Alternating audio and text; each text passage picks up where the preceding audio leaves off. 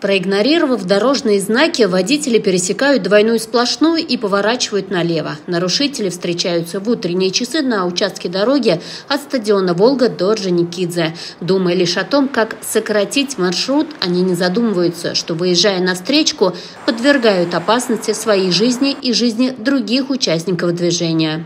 В адрес госавтоинспекции города Саратова поступили многочисленные обращения жителей заводского района о том, что на участке дороги от стадиона «Волга» до улицы Орджоникидзе водители транспортных средств нарушают требования правил дорожного движения. Госавтоинспекторами были организованы рейдовые мероприятия, в ходе которых к административной ответственности были привлечены 12 водителей, которые осуществляли разворот в нарушении требований линии дорожной разметки. Штраф для каждого из водителей составил полторы тысячи рублей. Всех нарушителей сотрудники полиции призвали повторить правила дорожного движения и быть внимательнее на дорогах. Рейдовые мероприятия, в том числе в заводском районе, будут продолжены.